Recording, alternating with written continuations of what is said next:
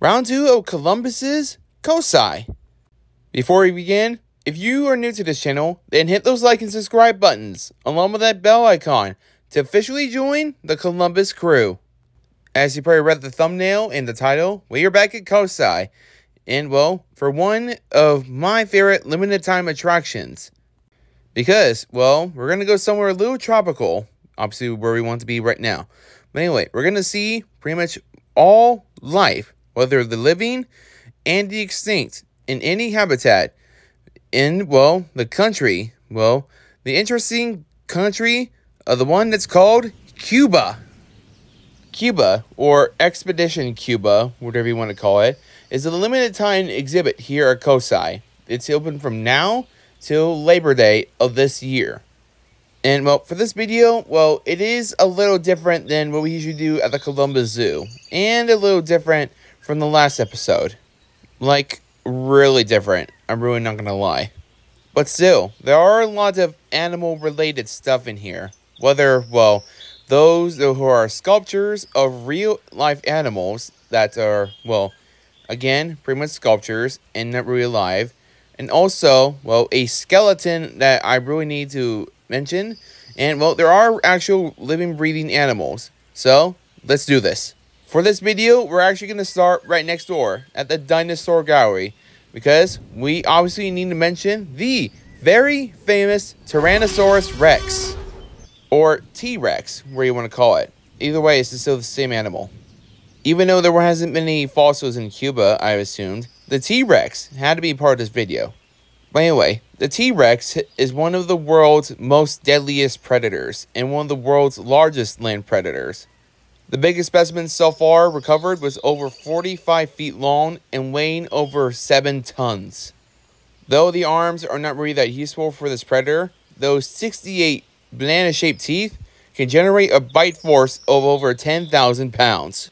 And now, we are arriving our preferred destination. Welcome to Cuba, which is like almost 2,000 miles away from Columbus.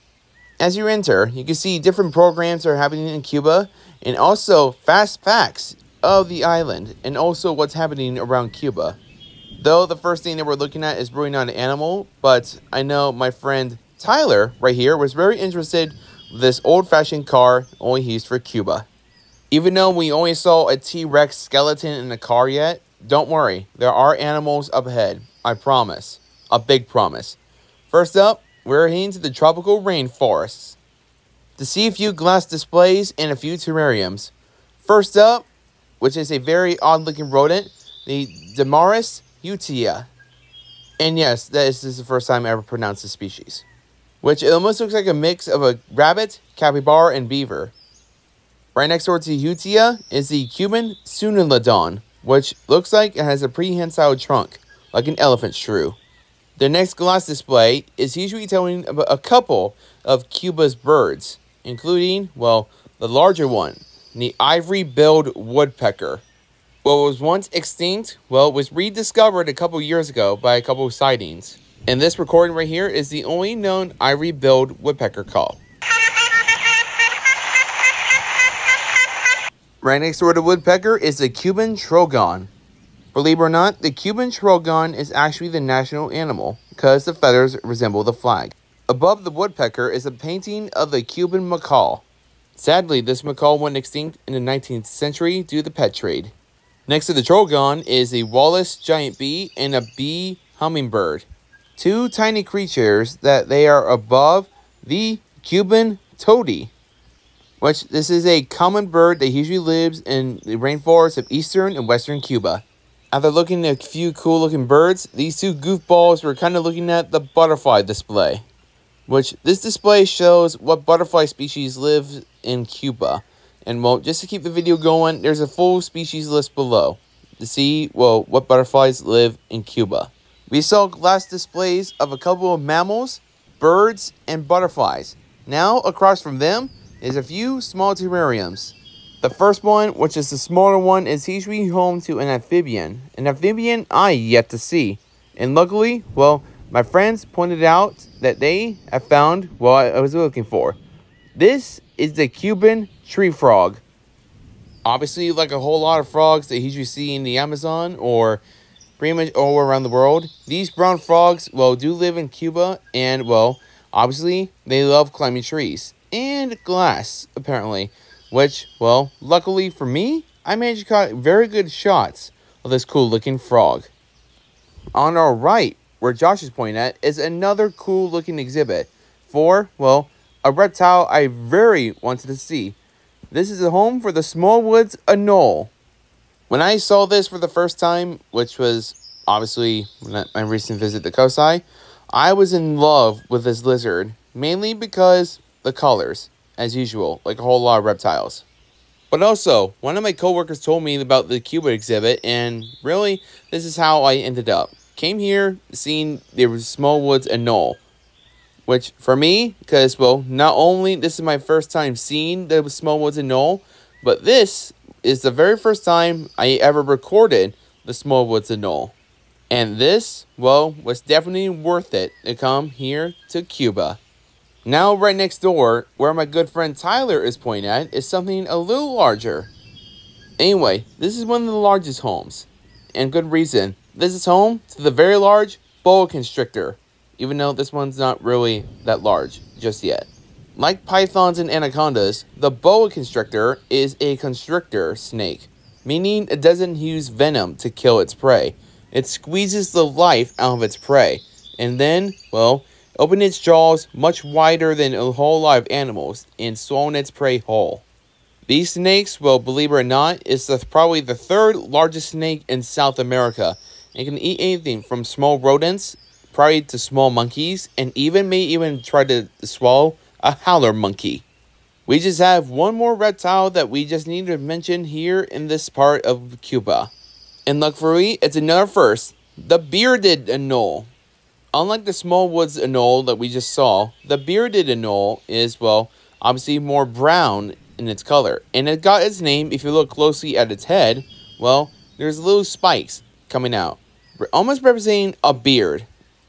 And they're also being referred as false chameleons because, well, with their very long legs and toes for them to climb trees, like this one.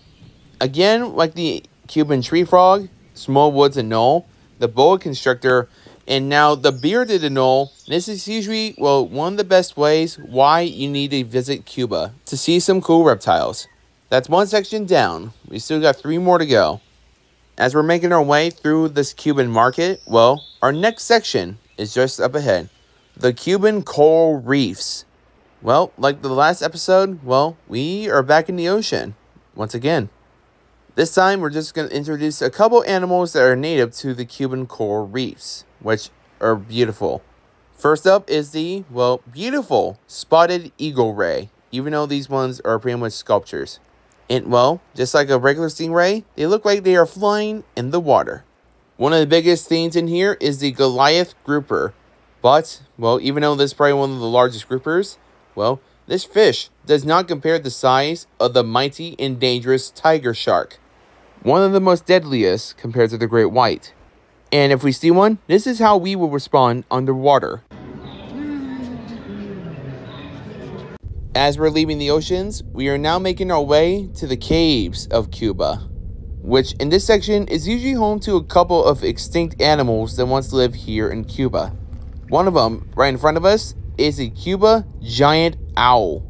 Believe it or not, this huge extinct owl was actually the world's largest owl.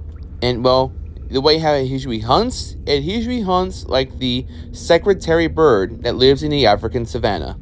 After looking at the largest owl, my friends spotted these cool looking artifacts, which may have been some bones of animals that used to live here in Cuba. It is pretty interesting, and what you pretty much saw was well, a giant rock that looks like a giant fossil of a shell. Near the exit is, well, a couple more skulls. The top one for extinct Cuban monkeys, which this exhibit wants you to compare the monkey skull to also the extinct Cuban giant sloth, which is crazy. We are now heading to our last section, the Cuban wetlands. Pretty much, well, the Everglades in Cuba. Which, well, this is usually one of everyone's favorites, which I can see why. It's pretty large and pretty good. I do like the sculptures of many animals. including the first one, the Cuban crocodile. This has to be one of the most dangerous predators in Cuba. Obviously, because this one is trying to grab a bird that I'll be mentioning in a minute. There's also a little display in the back with a couple of Cuban crocodile hatchlings. And unlike a saltwater crocodile, it is very small. It can grow only up to 200 kilograms. Near the end of the room is a few skull comparisons of a American alligator and a Cuban crocodile to see the differences. And the crocodile's possible dinner is a roseate spoonbill. And just to make clear, these are not flamingos. Spoonbills, which also include the African spoonbill, well, these guys are related to ibises, like the Hadada ibis, sacred ibis, like we have here in the Columbus Zoo. And as you can see, this bird got its name because its bill is shaped like a spoon. The last animal I need to mention for Cuba, well, are the Cuban parakeets. These parakeets usually live in dry forests and open savanna, along with wetlands like this, usually almost around Cuba. And as you can see, well, these parakeets usually take over the spot where a Cuban green woodpecker would usually, well, do all the work. And believe it or not, these parakeets can also take cover in termite nests.